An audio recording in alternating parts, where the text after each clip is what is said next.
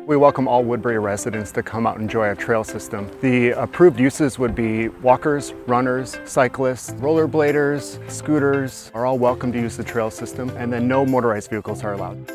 All users should yield to other trail users. No matter if you're running or walking, you're going to be yielding to somebody else. And typically the faster trail user needs to yield to the slower trail user.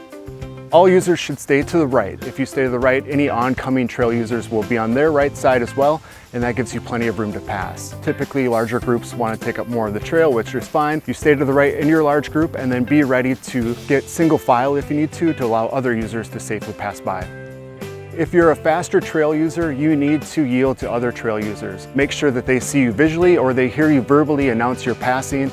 Give them a chance to step to the right. You can safely pass at that point. We also advise cyclists to control their speed and bicycle based on the volume of other trail users. Limited sight lines, blind corners, elevation changes. Those should all make you go a little bit slower and be more cautious. If you're unable to safely stop without skidding or swerving when you want to go past another trail user, you're going too fast and you need to slow down.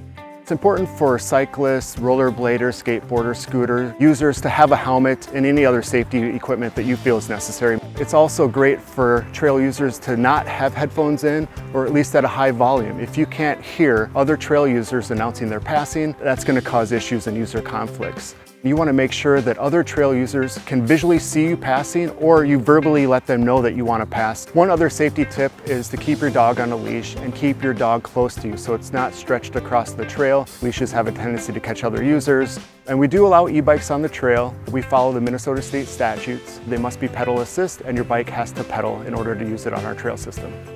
If you do come across any maintenance issues, please notify the city right away. We want to make sure that we take care of those and provide you with the safe user experience on our trails. And then make sure that trail users look out for each other. The more we look out for each other, the more we're aware of our own surroundings and we notify other people that we're approaching, the better it is for everybody and everybody's experience will be fun.